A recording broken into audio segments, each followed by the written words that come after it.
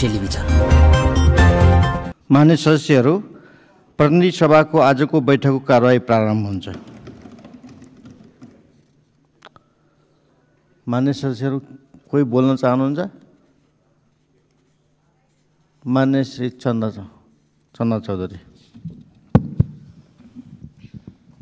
सम्मानीय सभामुख महोदय आज हाम्रो विरोधको धेरैचोटि भइसक्यो र हाम्रो माग अहिलेसम्म केही सरकारले सुनवाई गर्नुभएको छैन र लाल आयोगको प्रतिवेदन अहिलेसम्म सार्वजनिक नहुनुको के कारण छ के राज्य छ त्योभित्र त्यो चाहिँ हामीलाई प्रष्ट गर्नु पर्यो।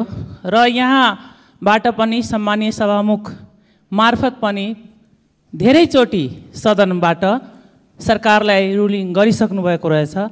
त्यही पनि लाल आयोगको प्रतिवेदन सार्वजनिक नहुनुको के कारण होला? र लाल आयोगको प्रतिवेदन सार्वजनिक नहुनको कारणले आज रेशम चौधरी एउटा थारूको छोरा जेलमा मानिए भएर पनि जेलमा जीवन बिताइराख्नु परेको छ। यो सरासर अन्याय हो सभामुख महोदय।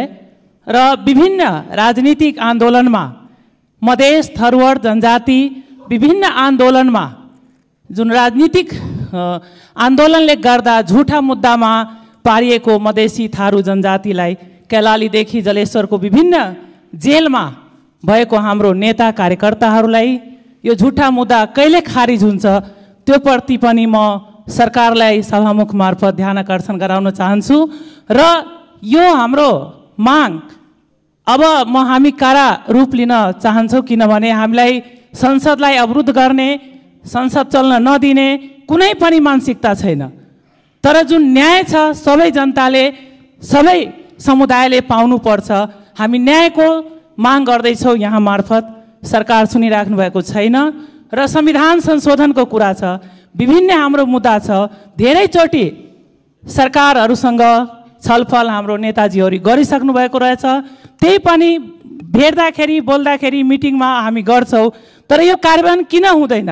कहाँ के कारण छ? त्यो हामीलाई प्रष्ट पार्नु पर्यो। म सम्मानीय सभामुख मार्फत सरकारको गम्भीर ध्यान आकर्षण गराउन चाहन्छौँ। र अब यो हाम्रो मुद्दा हाम्रो विषयलाई यदि केही सुनवाई भएन भने हामी यो संसद डेली नै अवरुद्ध गर्ने करा रूप लिन चाहिँ बाध्य हुनेछौँ। यो जानकारी म सम्मानीय सभामुख मार्फत गराउन चाहन्छु सरकारलाई।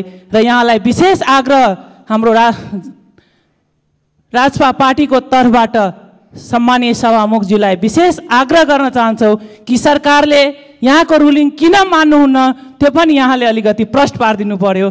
धन्यवाद र हाम्रो मुद्दालाई सम्बोधन होस् भन्ने आशाको साथ म यो आफ्नो शब्द अन्त गर्छु। धन्यवाद।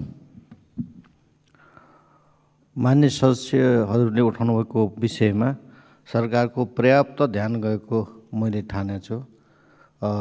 कारणसहित केही समयपछि सरकारले उचित जब उचित जवाब दिन्छ। सदस्य उहाँले उठाएको विषयहरू मेरो त ध्यान आकर्षण भएकै छ।